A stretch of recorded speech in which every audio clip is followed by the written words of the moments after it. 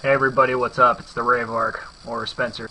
I got a question for you guys. This will just be a quick video. Um, you know at the beginning of my videos when I have the, the RaveArk Presents insert name of video here, um, do you guys think I should have that, or do you guys think I should just go straight in to showing what my videos are? Like, have a title, of course, like everybody else, but just start my videos automatically instead of having that little intro. Because um, I've been thinking about it here like the last few hours, and I think that might be losing a lot of people's attention because I don't think everybody wants to have to set through that the entire time when they're waiting for my like if they're wanting to check out my videos, and I think it could possibly turn away new subscribers. So I figured I'd just go ahead and ask you guys what you think. Keep the intro like the little RaveArk Presents thing in the title.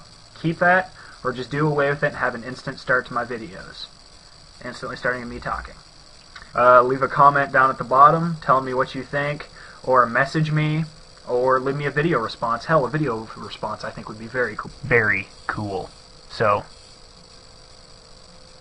you should probably do that with video response or comment, either one. I don't really care. Just do something, please. Okay, so anyway, yeah, just tell me what you think, because this is something I'm having a little bit of trouble deciding on myself. I want to get rid of it, but if you guys like it and you guys think it's cooler, I don't know. Then do like I said. If you don't, then I'll probably get rid of it because I'm already on the verge of getting rid of it anyway. I just want to know what you guys think. this has been the RaveArk. Deuces.